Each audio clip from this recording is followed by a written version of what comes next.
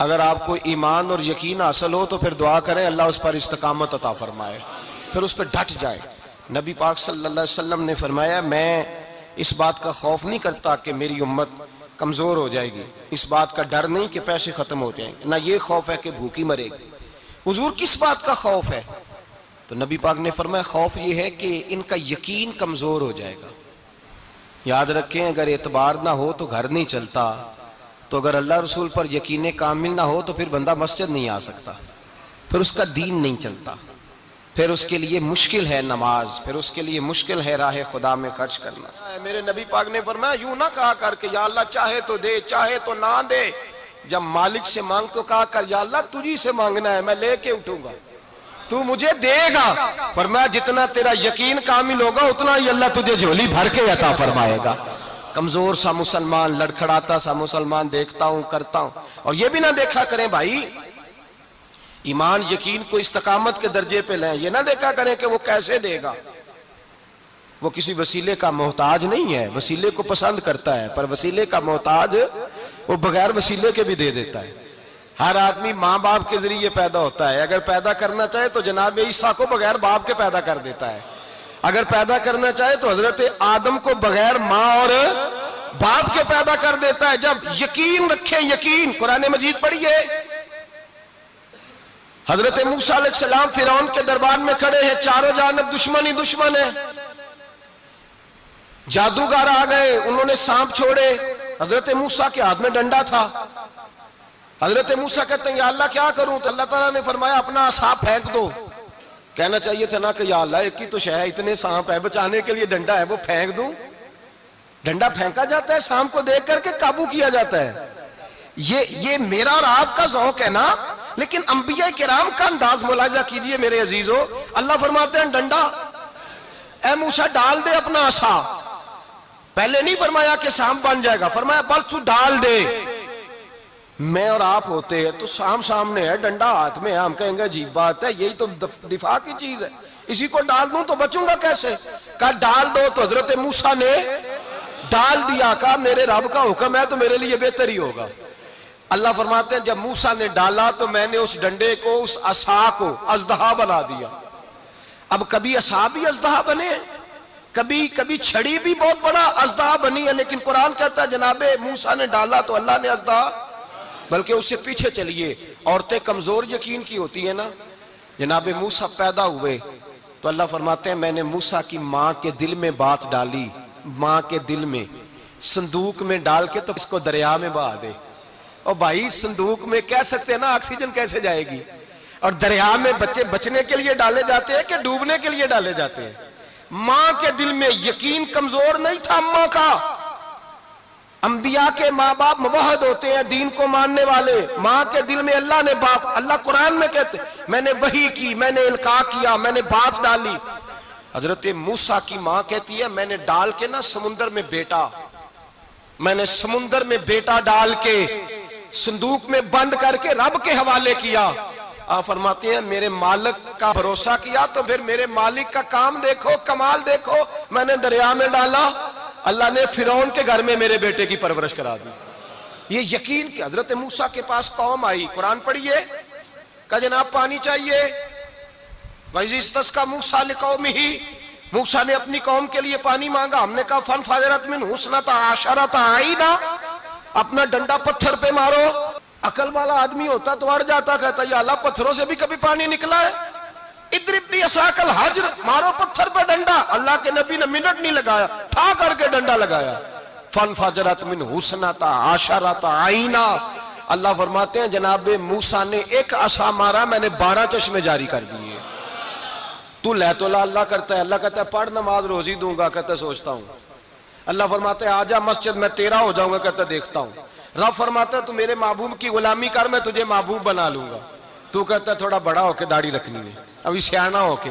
मैं जरा सर्टिफिकेट ले लू इसराइल से कि कितने सालों के बाद आएँगे। फिर शुरू करूँगा। प्रोग्राम बना रहा है। अभी तो इरादे में है। अल्लाह के पैगंबर का डंडा और इससे ज़्यादा आगे बात हो गई। पीछे फौज लगी हुई है फिरौन की। मजमा है। हज़ारों लाखों का लश्कर लेके तलवारें नेजे फिर पीछे। आगे दरिया आ गया। हज़रत मूसा सलाम खड़े हैं। अब किधर जाएँ? अल्लाह पाक ने फरमाया, मारो डंडा। कहा? पानी पे पानी पे डंडा मारो। अब हज़रत मूसा पानी पे डंडा मारे तो पानी उभरेगा, इससे ज़्यादा क्या होगा? पहले पत्थर पे डंडा मरवाया तो पानी निकला। अब पानी पे डंडा मरवाया, फाइज फरकना बिकुमुल बहरा फान जईना कुम वाग रखना अला फिराउन अल्लाह फरमाते मूसा ने पानी पे डंडा मारा तो मैंने पानी में रस्ते बना दिए। एक जगह डंडा मारा तो पानी निकल आया, दूसरी जगह आसा मारा तो पानी खुश्क हो गया। बारह चश्मे बन गए बारह रस्ते बन गए दरिया में से। हज़रत मूसा सलाम गुजर गए और अल्लाह फरमाते हैं, फिरौन भी आया तो उसे मैंने गर्क कर दिया।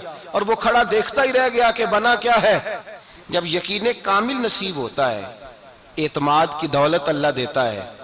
जब इंसान को ये इनशराह सदर हो जाता है कि मेरी निजात खुदा के हुक्म में है और रसूलुल्लाह के कदमों में है। जब उसे ये इनशरा हासिल होता है तो फिर नमाज़ का लुत्फ आता है। गौर कीजिए, क्या जुमला कह दिया मैंने। फिर उसे नमाज़ का, फिर फिर उसे नमाज़ बोझ नहीं, बल्कि नमाज़ ना पढ़े तो उस पर बोझ होता है। फिर कुरान मजीद, उसकी रूह का साथी हो जाता है।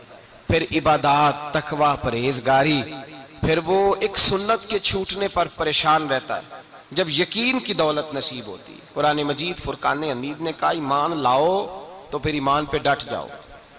मुसलमान बनो तो फिर इस्लाम पर। फिर ये जो कमज़ोरी है ना, ये देखते हैं, करते हैं, चलते हैं।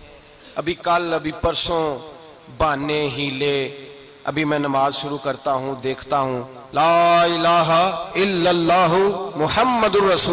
सल्लल्लाहु अलैहि। जब किसी ने कलिमा पढ़ा तो उस पर पूरा दीन ज़रूरी है। पूरा। अब वो ये नहीं कह सकता कि थोड़ा थोड़ा करके आऊँगा। यकीन की दौलत, नेमत है। अल्लाह पाक कुरान मजीद में फरमाते हैं इन्नल्लजीन कालू रब्बुनल्लाहु सुम्मस्तकाम जिन्होंने कहा कि अल्लाह हमारा रब है और फिर वो इस पर डट गए। फिर इस पर वो कहा तो डट गए, खड़े हो गए, नहीं, अल्लाह ही रब है, अल्लाह ही देने वाला, अल्लाह ही मालिक, अल्लाह ही हमारा राजिक है, रब ही हमारा सब कुछ। जब डट गए तो फरमाया तनजल मलाइका फिर मैं उनकी मदद के लिए आसमान से फरिश्तों का नजूल फरमाया करता हूँ। फरिश्ते क्या कहते हैं? अल्लाह तखाफू वला तहजनू, गम न करना, खौफ न खाना। वब शुरू बिल जन्नति कुन तुम तो अदून हम तो तुम्हें अल्लाह तबारक वाली की उस जन्नत की खुशखबरी देने आए हैं, जिसका रब ने तुम्हारे साथ वादा किया हुआ है। फिर फरिश्तों का नजूल होता है। लेकिन शर्त क्या है कि ईमान लाए और फिर ईमान पर फिर ये ना सोचे कि वो किस तरह देगा, वो कैसे अता करेगा, वो मेरी मदद किस तरह करेगा, निज़ाम कैसे चले? डट जाए डट जाए, कहे, मेरे अल्लाह का हुक्म है तो मैंने हलाल ही खाना है। मेरे रब का हुक्म है तो मैंने थोड़े पे गुजारा करना है। मेरे मालिक का हुक्म है तो मैंने अपनी जेब देखनी या दूसरे की नहीं देखनी। मेरे रब का हुक्म है तो मैंने उसकी इतात में रहना जब डट जाएगा, अल्लाह के अहकाम पर जब डट जाएगा तो अल्लाह फरमाता है, फिर मैं तेरी मदद के लिए फरिश्तों का नजूल करूँगा। नबी पाक सल्लल्लाहु अलैहि वसल्लम ने फरमाया, दो दौलतें अगर किसी को अल्लाह दे दे तो समझे अल्लाह ने उसे दुनिया की सबसे ज़्यादा दौलत अता फरमा दी। या रसूलुल्लाह, वो कौन कौन सी चीज़ें हैं? फरमाया, एक जिस शख्स को अल्लाह ने माफ़ करने की दौलत अता कर दी, जो माफ़ करने लग गया, जिसकी तबीयत में दरगुजर आ गया, जो माफ़ करने लगा, गलतियाँ माफ़ करने लगा, जिसको एक दौलत ये मिल गई और दूसरा मेरे मुस्तफ़ा ने फरमाया, जिसे अल्लाह ने यकीन की दौलत अता फरमा दी। जिसको ये दो दौलतें मिल जाए, एक दरगुजर करना, दूसरा रब रसूल पे यकीन कामिल रखना, उसे कायनात की हर शय मिल गई। मेरे नबी पाक ने फरमाया, जब भी दुआ मांगो, खुदा से ये दो नेमतें मांगा करो। अर्ज़ किया करो, ए अल्लाह, दरगुजर की दौलत अता फरमा। ए अल्लाह, तू हमें यकीन की दौलत अता फरमा। ईमान की कुव्वत और पुख्तगी नसीब फरमा। मेरे भाई हुजूर ने फरमाया, मांग के लो। कमज़ोर ईमान वाला शख्स किसी काम का नहीं होता।